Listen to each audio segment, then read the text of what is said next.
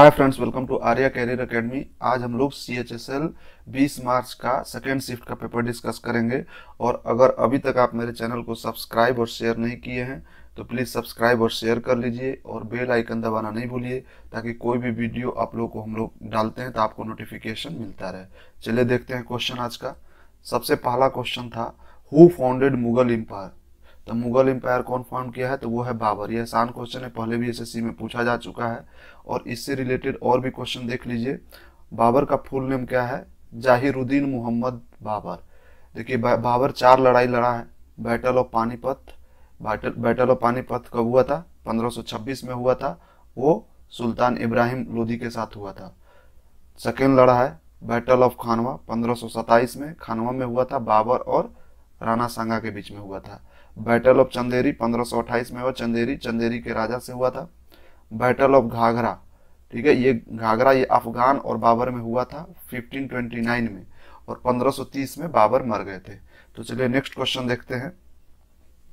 Bhutan national tree क्या है? देखिए, भूटान के बारे में नेबरिंग कंट्री का हम अभी तक वीडियो डाल चुके हैं और अगर आप पीछे वीडियो नहीं देख रहे हैं, भूटान से रिलेटेड तीन चार क्वेश्चन आ चुका है, जिसमें हम पूरा पूरा डिटेल बताएँ। ये पहले भी बता चुके हैं कि इसका ट्री नेशनल ट्री कौन सा है? तो अगर आप पीछे का वीडियो नहीं देते, देखे हैं तो प्लीज़ एक बार जाकर पीछे का वीडियो देखिए।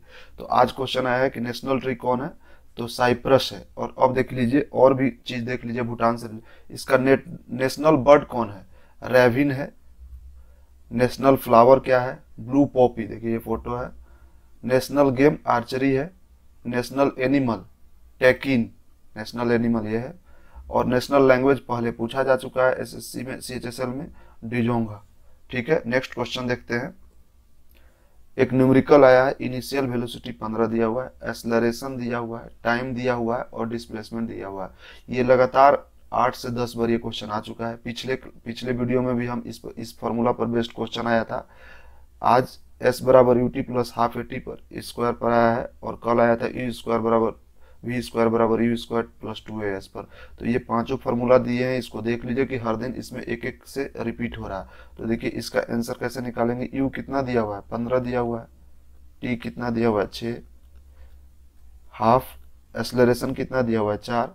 और टाइम का स्क्वायर तो टाइम कितना दिया हुआ है? छ तो थर्टी सिक्स ये कट गया। ये नब्बे। बहत्तर। दो, एक सौ बासठ। मीटर आंसर हो गया। तो आप ये सारे फॉर्मूले को याद कर लीजिए। नेक्स्ट क्वेश्चन देखते हैं। Who can order the state to save the money bill during the economical emergency इसका ऑप्शन मेरे पास नहीं है। अगर आपके पास अधिक क्वेश्चन का ऑप्शन है तो आप ऑप्शन भेजिए। उसके अनुसार इसका आंसर मारेंगे और अगर किसी के पास इसका प्रॉपर क्वेश्चन ये क्वेश्चन क्या पूछा गया है तो उस क्वेश्चन को कॉमेंट बॉक्स में डालिए।